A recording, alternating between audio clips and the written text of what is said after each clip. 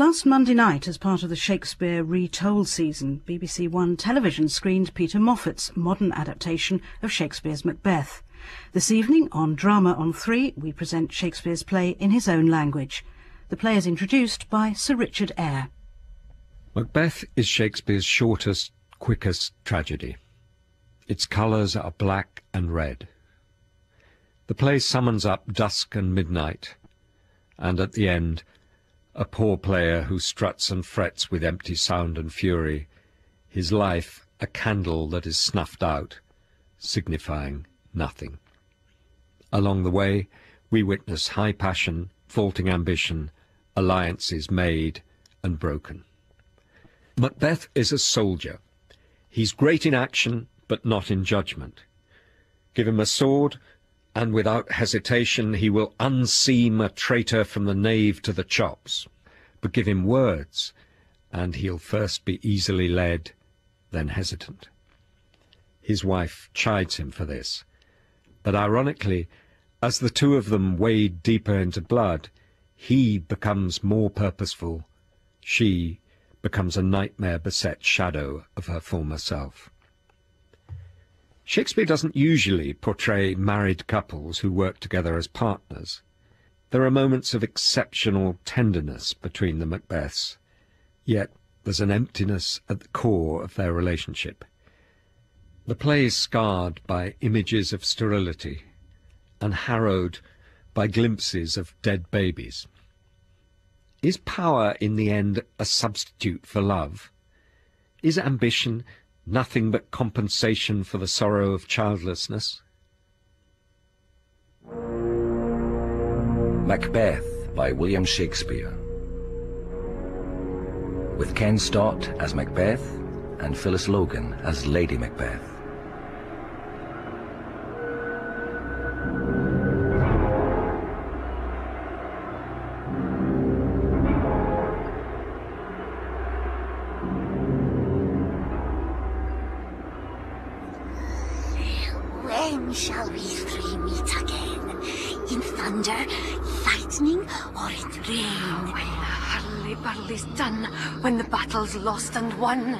Won. That will be ere the set of sun. Where the place? Here to meet with Macbeth. I come, Grey Malkin. Paddock calls. Anon! Fair is foul, and foul is fair. Hover through the fog and filthy air.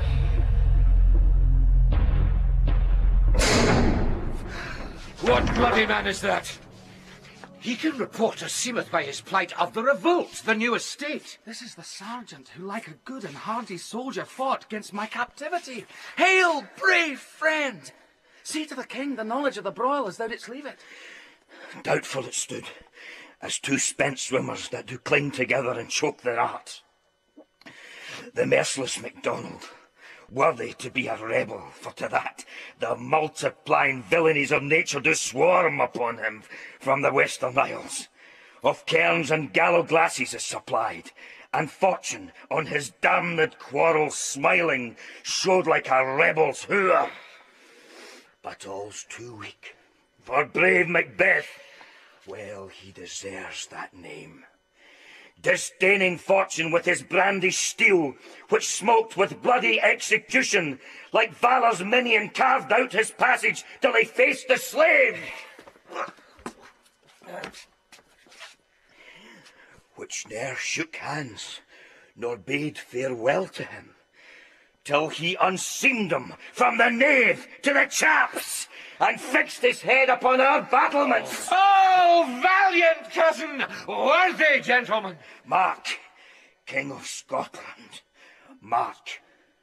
No sooner justice had, with valour armed, compelled these skipping kerns to trust their heels, but the Norwegian lord, surveying vantage, with furbished arms and new supplies of men, began a fresh assault. Dismayed not this our captains Macbeth and Banquo? Yes, as sparrow's eagles, or the hare the lion. If I say sooth, I must report the word. As cannons overcharged with double cracks, so they doubly redouble strokes upon the foe. except they meant to bathe in reeking wounds or memorize another Golgotha. I cannot tell. But I am faint. My gaseous cry for help. So well thy words become thee as thy wounds, they smack of honour both. Go! Get him, sergeants! Who comes here? Bloody Queen of Brass. What a haste looks through his eyes.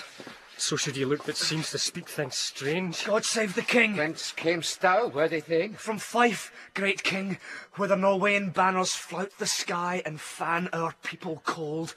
Norway himself, with terrible numbers, assisted by that most disloyal traitor, the Thane of Cawdor, began a dismal conflict, till that Bellona's bridegroom, lapped in proof, confronted him with self-comparisons, point against point, rebellious arm against arm, curbing his lavish spirit, and to conclude, the victory fell on us! Great happiness! That now Sweno, the Norway's king, craves composition, nor would we deign him burial of his men till he dispersed at St. Colme's Inch ten thousand dollars to our general use. No more. That Thane of Cawdor shall deceive our bosom interest. Go, pronounce his present death, and with his former title greet Macbeth. I'll see it done. What he hath lost, noble Macbeth hath won. Okay, so I suppose the first thing that um, we'll be looking at is what impression we get of Macbeth um, in this scene.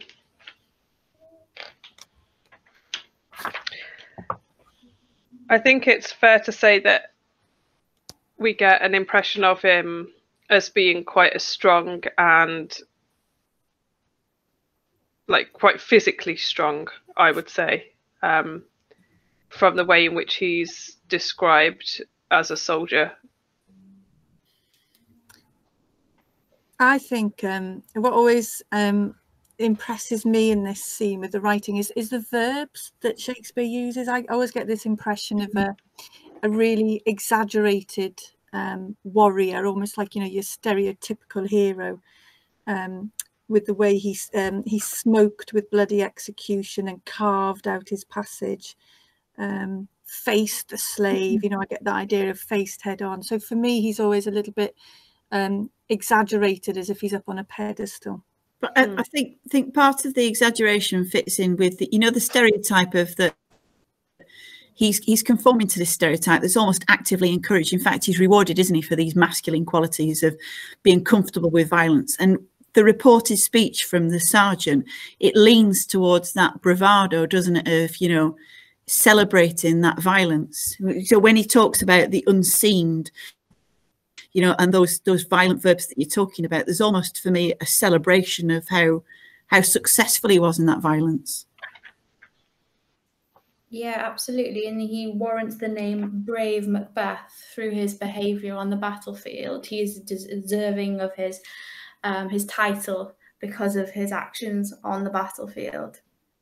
And it's supported by other people, isn't it? Even the even the king um, uses words like valiant and worthy to Mhm. describe him to really um, the to really emphasize that that idea that he is um like like Esther was saying put on a put on a pedestal to to show off his his skills as a warrior I always And I- as well. Sorry, uh, Miss No. Wallace. I always think as well with this um, this part of the, the the scene. It reminds me of when we first meet Curly's wife and we hear about her from Candy. And in, in you know when we there we know it's because he, we want to be prejudiced, but here we know that we're hearing about Macbeth before we meet him because we want that exaggerated view of him as a as a warrior. That's what Shakespeare wants us to have as an audience in in our minds. And I think that that is more effective when it's reported by someone else rather than us seeing it in the flesh in terms of action from Macbeth because we're assured by the fact that it's given to us by people of a high status like the captain and, and the king and so forth. So our impression is built through those who have status in the play. Absolutely, I completely agree with that. I was gonna, I was gonna say the same thing about those. The characters that are reporting on him are are high-standing members of the of the army and and of the, that fighting force, and and they're saying all these positive things and describing him in in such a um, exaggerated way that it really really does from a reader's point of view we we really do get that impression of of him being a complete success and and somebody who who we instantly look up to and think think very positively of at this part of the play. Definitely and there's this uh, an element of feeling unnerved also because the unseamed him from the nave to the chops. You Mm-hmm. kind of, as an audience, are taken back a little at his potential to be so violent on the battlefield. That's how I feel, anyway, as an audience member. Mm. But there is definitely an, an element of, uh, you know, celeb- we're celebrating his success. There's Alice. I think you've hit the nail on the head with when I when I read the scene briefly to um, my year ten group. The when they explored what the images actually meant, they were quite repulsed and shocked by uh, how graphic the violence was. Mm. I think there's a huge contrast there for how how comfortable and how accepting um, they are with this this sort of violence and how a, a modern day audience reads it and just think, but but that's that's horrendous. Mm. Uh, it's almost more shocking because we're looking at it at this time apart now, because you just wouldn't consider that a human being could do that to another human being, would you? I think what always um, catches me in this as well is when it talks at it talks about him carving out his passage till he faced the slave. Yeah. It's not the fact that he comes upon the traitor in the course of the battle. He purposely seeks out the traitor in order to bring him to justice. And I find that highly ironic because whilst he is at this point the one deciding upon the justice, the one facing the the traitor, um, he is the one that becomes that traitor. Um, at the uh, ultimately, he he becomes the person that he seeks to punish um, at this point, and I find that to be a very powerful image um, to open the play with. And also because it happens in a really short space of time, that turnabout Yeah. um, after the battle, you know, it, it makes me question to what extent when he is carving his passage to face the slave, is he acting like an automaton, this kind of um, conditioned soldier and warrior? But then to kind of just turn about so quickly afterwards, it just makes me think actually he isn't. There's there's something a bit for me anyway, I, it's something a bit shallow there. I think that shallowness is, is something that is is quite um, important to to think about from events later on in, in the play with him um, making these these very these huge decisions for his own for his own benefit um, and and that's showing in in this that he's making these massive decisions but for what are what is quite a blinkered um, narrow uh, uh, tunnel vision almost approach to life I think just just listening to you discuss it is is making me question, you know, how much progression he makes between the beginning and the end of the play as a, as a character. Because if if I consider how different Lady Macbeth is at the end in Act Five, con- comparison to where she is at the beginning, um, and I look at him and he's describing these images. You know, it's been reported about him, you know, how he he was at the beginning. And I think at the end, he doesn't seem to me to have actually made any progress or transformation. He's still at the end as self-centered and uh, you know it's all about him and it's all about his leadership and his violent acts. Um, whereas whereas Lady Macbeth is a is just a totally different person, isn't she? Yeah, I, I totally agree. I and I think for me that's why that when we move on to the next, um, you know, in a few scenes time when we see her use of um, th- this graphic language and you know what you were saying earlier about a modern audience being quite shocked by this violence, and then we get her, her we hear her speaking like that. but then when we bear in mind that she does transform by the end of the play, I think it really affects our our reading of the two characters. Yeah, agreed. I think coming back to that idea of, you know, just how exaggerated is this portrayal of Macbeth and to what extent is he strong if the turnabout in his allegiance comes about so quickly leads me just to think about what his strengths and weaknesses are in terms of he's very he's clearly there's no doubt that he's physically strong. Uh, you know we're told that here. But to change his allegiance so quickly and to become the traitor so quickly i wonder whether his weakness lies in his mind and that there is a conflict within the character of macbeth where his weakness of mind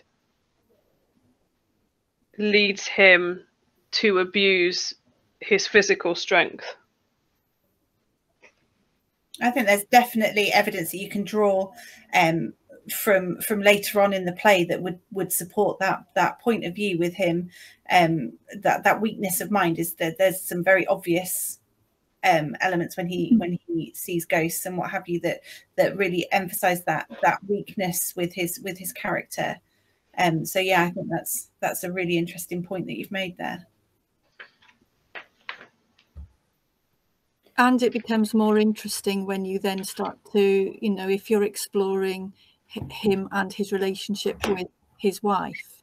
Mm. Um, you know, why do they, you know, we, we always question, don't we, why they end up acting like they do. But actually, when you couple his weakness of mind with her, um, you know, what I believe is her determination to please the husband that she loves, mm. and those two things together put a couple together who don't really think straight and yeah. and then that would take me back to the mm. why the, why everything changes so quickly um, after this battle. Mm. I question to what extent Shakespeare actually is telling us is he brave at this stage in Act One, Scene Two, or is it um, luck of the draw? Is it fortune, as mentioned in the mm. in the text? Um, is it is it by having the captain tell us this? Is there an element of maybe he's not as brave as perhaps we're being led to believe because we're hearing it from somebody else and we don't know the ins and outs but and because shakespeare makes this reference to fortune has he just been lucky? That's my impression. Mm, that's yeah i think that's a really good observation. Because i think the image that is um, accomp- that accompanies the idea of fortune is that fortune is fickle, that it changes sides, mm. which uh, also relates to to Macbeth the character. Absolutely, it almost embodies his character, isn't it? Doesn't mm. it?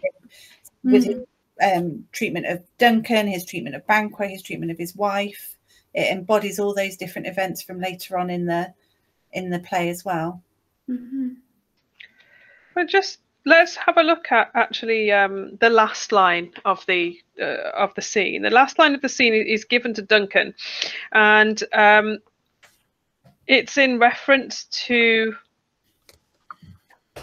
the title that Macbeth's about to receive as a result of the death of another traitor.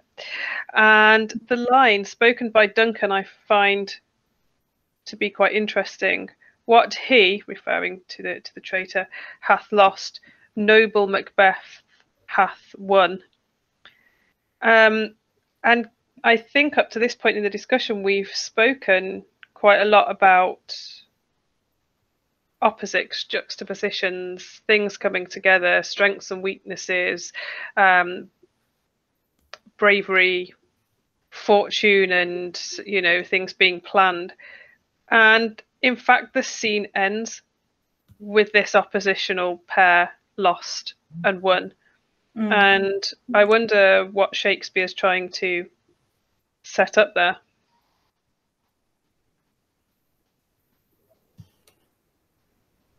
It's very much thinking like it or suggesting it's almost like a game, isn't it? That the the battle that they've that they've just um, uh, come from was a game, and and the fact that that um, it, Macbeth won as part of fortune from from luck also suggests an element of of a, a game or a competition Mm. and him seeking out um seeking to win throughout the play almost links to what what duncan's saying there with with him with with that that line at the end of the act so that that's quite interesting to look at it in that way of him being being the winner um because that's what he wants to do all the way through isn't it he wants to win so so yeah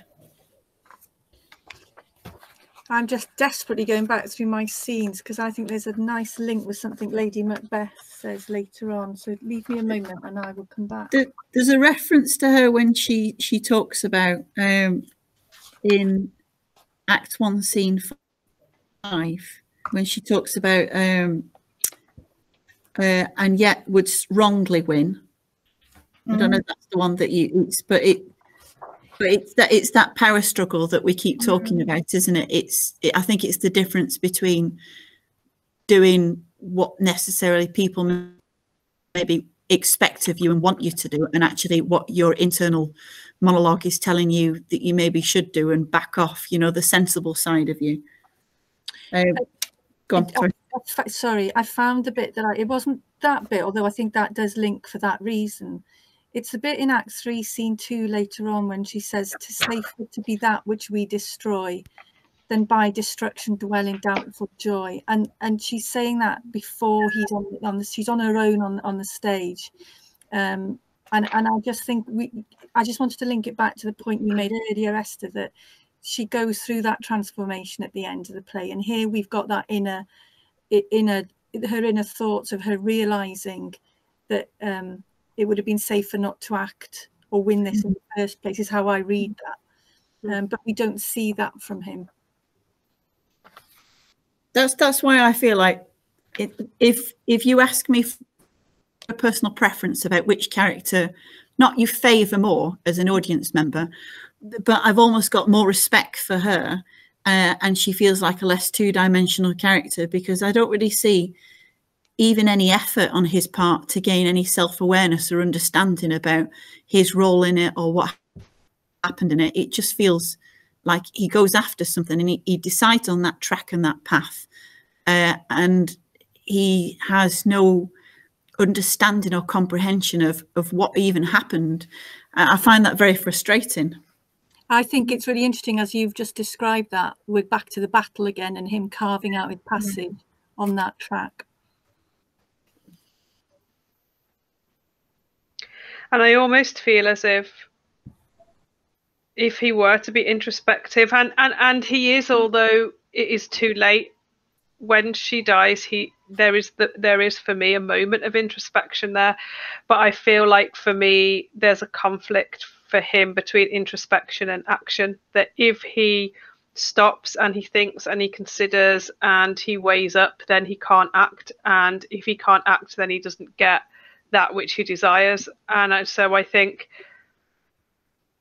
even if he has the ability to question and he has the ability to um, observe his actions, it's something that he cannot afford to do if he is to get that which he's which he in the end becomes you know so the desire to have that is ultimately you know what traps him I think that's a really good point and one that I, I maybe had missed um, in my own thoughts. Um, because when he does think about the act of of killing Duncan, he does he does he does think about that. He goes through a process with that, a discussion with his wife, and then doubts himself about that. So there, there's definitely that when he doesn't think about things, when he just acts straight away, he does, I suppose, get more done. Although whether whether he gets the right things done or not is up for debate, I suppose.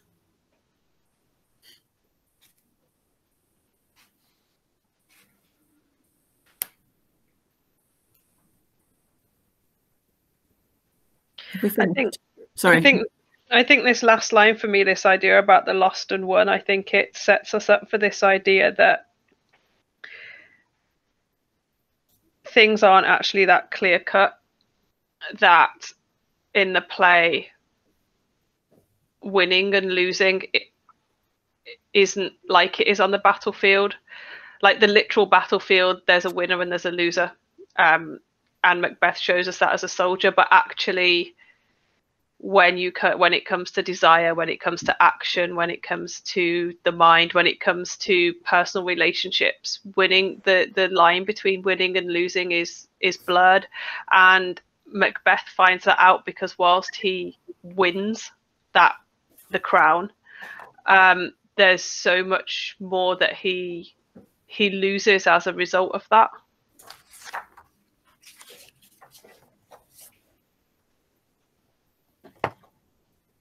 What, as an audience member, would you be expecting of Mac? If you didn't know the play, what would you be expecting um, of him at this point as the play continues? I think for me, I just lost my scene. Um, for me, the fact that he has fought so valiantly against MacDonald, the traitor, for his king, I would be, I would expect him to carry on being, you know, his king's loyal servant. Mm. Like a noble war hero, I would expect. Mm. Okay. Thanks to everyone for their input on the scene. I think it's interesting to bring together so many different points of view, and I think what our discussion has really proved is that there is no one overriding way to read this text and the characters and there's a multitude of opinions and ideas to be found even just in this opening scene. So thank you very much for everyone to everyone for their contributions Thank you. Thank you. Thank you. Bye bye.